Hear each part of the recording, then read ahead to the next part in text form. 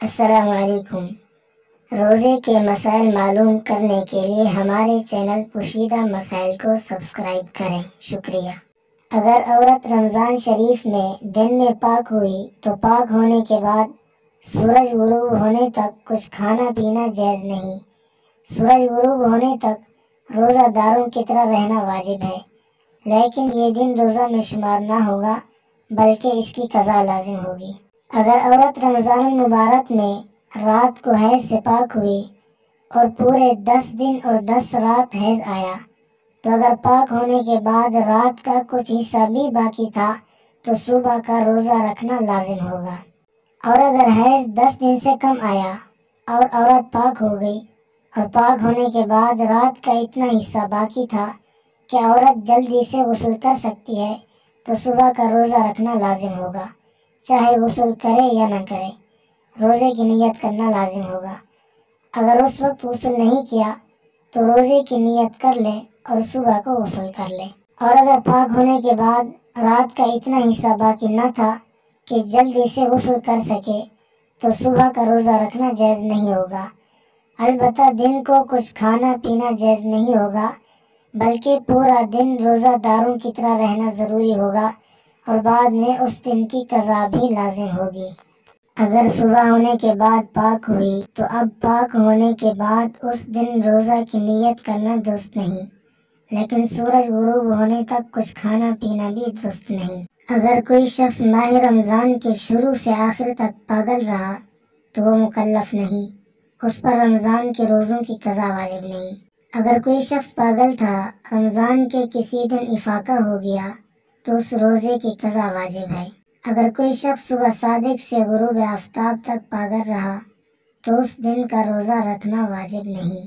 अगर रोज़ादार सहरी के बाद सुबह सादिक से पहले मुँह में पान रख कर सो गया और सुबह सादे के बाद बेदार हुआ तो इस सूरत में मुँह में पान हो या ना हो, दोनों सूरतों में रोज़ा फासिद हो जाएगा, कज़ा लाजिम होगी। इसलिए शहरी में पान खाने की सूरत में सुबह सादिक से पहले पहले कुल्ली वगैरह करके मुँह को अच्छी तरह साफ़ कर ले, वरना रोज़ा फासिद हो जाएगा।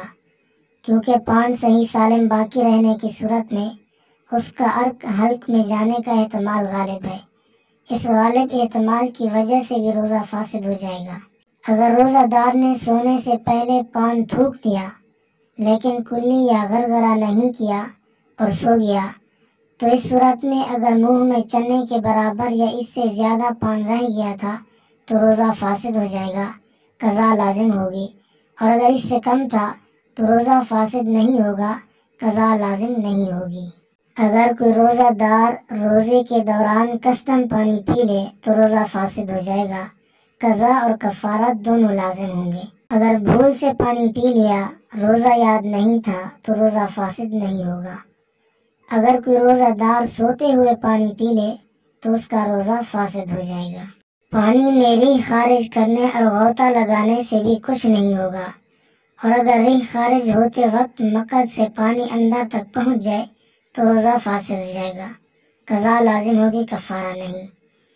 अगर सहरी के वक्त पान खाया, लेकिन सुबह सादिक से पहले पहले कुल्ले वगैरह करके मुँह को साफ़ नहीं किया, और उसके अज्जा मुँह में रह गए और सुबह सादे के बाद पान की सुर्खी थूक में मौजूद थी। और ऐसे थूक को निगल लिया तो रोज़ा फासिद हो जाएगा, कज़ा लाजिम होगी। और अगर पान खाने के बाद सुबह सादिक से पहले अच्छी तरह कुल्ले करके मुँह साफ़ कर लिया था, उसके अज्जा मुँह में न रहे, लेकिन इसके बावजूद थूक में सुर्खी का असर बाकी रहा और उसको निगल लिया तो रोज़ा फासिद नहीं होगा। तहम ऐसे लोगों को मुँह की सफ़ाई में ज़्यादा से ज़्यादा एहतियात करनी चाहिए। अगर चेहरे का पसीना रोज़ादार के मुँह में दाखिल हो तो अगर मामूली हो, जैसे एक दो कतरे तो रोज़ा फासिद नहीं होगा। और अगर बहुत ज़्यादा पसीना जमा हो जाए, फिर उसको निगल जाए तो रोज़ा फासिद हो जाएगा, कज़ा लाजिम होगी। रोज़े की हालत में फूल सूंघना जायज़ है, इससे रोज़े पर कोई असर नहीं पड़ता। अगर रोज़ादार को प्यास की शिद्दत की वजह से हलाकत और मौत का खौफ हो गया या अकल में फतूर आने का ख़तरा हो गया तो इस सूरत में पानी पीकर जान बचाने की इजाज़त होगी।